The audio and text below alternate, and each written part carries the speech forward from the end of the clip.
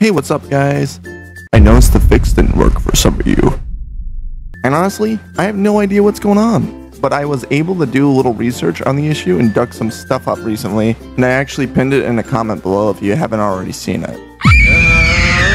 But in light of that fact, I have something I want to share with you today. That I actually know what the fuck's going on with the rest of it, but yeah. So after doing some very rigorous research on the Roblox terms of service, I found that some regions are no longer available to verify their voice chat with just a phone number, and instead now require an identification or personal ID. And no, I totally didn't use ChatGPT to do most of my research for me. Now, some people are telling me that the operating system itself, or the OS, needs changes met in its settings for voice chat to work. And frankly, I have no information on that, and I don't plan to do any rigorous research on it either. But if I do run into something, I will let you know immediately.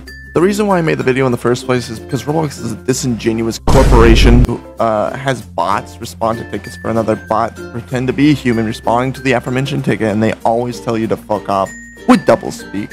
So I thought I would make a short explanation for this issue that might make a couple people's days easier, which I think has gone well so far. But yeah, this is just a quick update for those that the fix didn't work on. But yeah, that's pretty much it. You uh, wasted your time. You watched all this with a still image that said, uh, good enough.